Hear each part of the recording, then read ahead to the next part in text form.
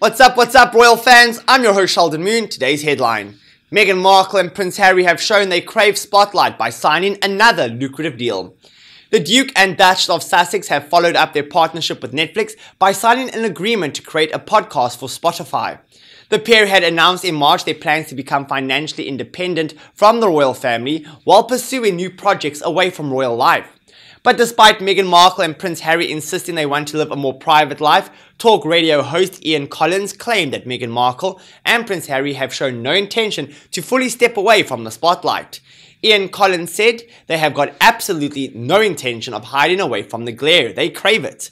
I don't think Meghan can wake up in the morning unless she thinks there is some deal to be done, and Harry seems to be just bungling along with whatever Meghan says. As it transpired, there we were in a situation where this couple wanted a life away from the highest echelon of notoriety, the British royal family. They have decided to sign not only the deal with Netflix but with Spotify, which will be their new home for a podcast. The CEO of anti-monarchist group Republic told Express that the Duke and Duchess of Sussex are desperate to stay in the spotlight, but want to make their own arrangements on how to do so. Graham Smith said, I think Meghan and Harry are very clearly desperate to stay in the spotlight. They want to do it on their own terms, in their own way. The problem is that their only claim to fame is having been royals. Because they walked away from the interest in them is going to wane over the next few years. They are going to struggle to keep people interested because they really don't have anything to offer.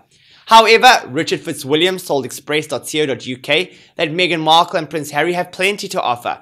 The royal commentator said in response to Republic's comments, this is seeing Harry and Meghan from a parochial point of view.